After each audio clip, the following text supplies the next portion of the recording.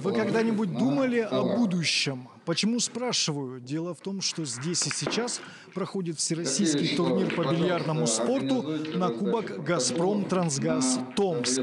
Именно здесь находится будущее этого вида спорта.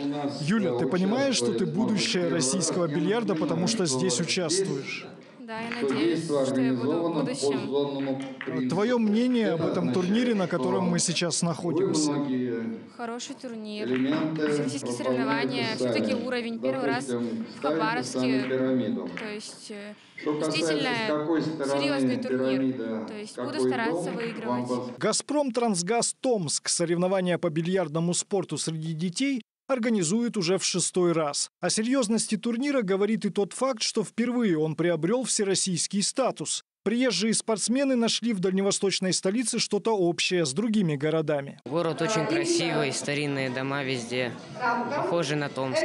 Мы очень долго носили в себе эту мечту, чтобы э, выйти на уровень России, и благодаря э, Федерации бильярдного спорта Хабаровского края, Министерства спорта Хабаровского края мы смогли продвинуть этот турнир до всероссийского уровня, зарегистрировать его в Министерстве спорта Российской Федерации и принять всех участников здесь конечно, это для нас очень большая радость и победа. За победу на этом турнире юные бильярдисты трех возрастных категорий, от самых младших до 21 года, будут бороться на протяжении трех дней. Среди претендентов на главные награды 60 спортсменов из Хабаровска, Москвы, Новосибирска, Владимира и других городов России. Финал соревнований и награждение лучших пройдут 11 ноября. Вот такое ближайшее будущее российского бильярда.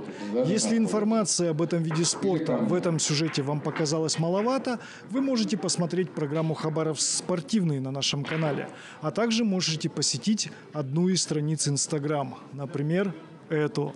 Сергей Щербаков, Александр Марченко. Хабаровск. События.